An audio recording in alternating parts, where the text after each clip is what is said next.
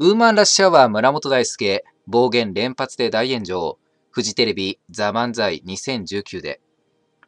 本日放送されたフジテレビのザ・漫才2019において、ウーマンラッシュアワーの村本大輔さんが原発や辺野古朝鮮学校に関してあからさまなプロパガンダを垂れ流し、現在大炎上してしまっております。この村本さん、まずは原発について、村本さんの地元の福井県大井町の隣に高浜町があって、そこに原発があり、その隣の美浜町にも原発があって、敦賀にも文殊があると主張されていたんですが、こちら地図で確認いたしますと、福井県には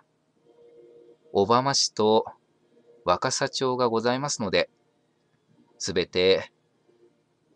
隣同士の自治体が原発を持っているわけではございません。村本さんはこのようにご自身の地元なのに都合の悪い自治体の存在を消してしまっております。また、沖縄の県民投票について、7割が反対した工事をするなと、辺野古の工事をするなと主張されておられましたが、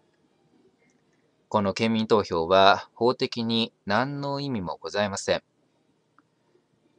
投票日も辺野古反対派が投票所で反対に投票するよう有権者に要求したり、選挙ではありえないような暴挙が続きました。これが選挙であれば、日本の法律でも国際機関による選挙監視でも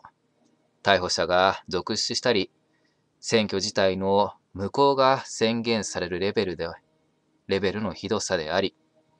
そもそもこの県民投票、投票率が52%で、そのうち反対が71%でございましたので、有権者全体で見れば、反対に投票した方は37%しかいなかったという事実がございます。ぜひとも村本さんには、この県民投票を辺野古の工事、妨害の根拠として挙げるのであれば、そもそも県民投票が法的に何の意味もないということをですね、しっかりと説明していただくようにお願いいたします。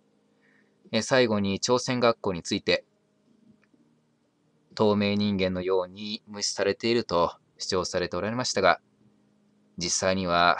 透明人間ではなく、無視もされておりません。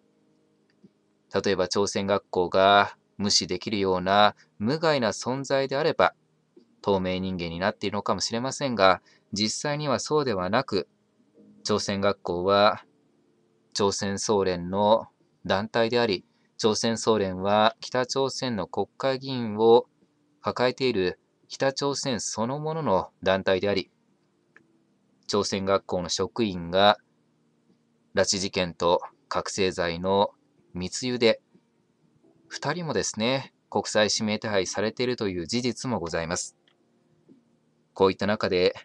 朝鮮学校は誰がどう見ても透明人間扱いされておらず、日本で残念ながら非常にですね、存在感を持ってしまっておりますので、ぜひとも村本大輔さんには、様々な主張をされるのは勝手ではございますが、事実に基づいた主張を行っていただくようにお願いいたします。以上になります。ご清聴いただきありがとうございました。